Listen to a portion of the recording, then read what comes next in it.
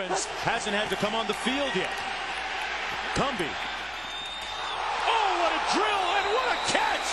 Ingram miraculously, incredibly, implausibly hung on to it. He was almost decapitated on that hit. I'm gonna tell you this. That that that's about one of the hardest hits I have ever ever seen.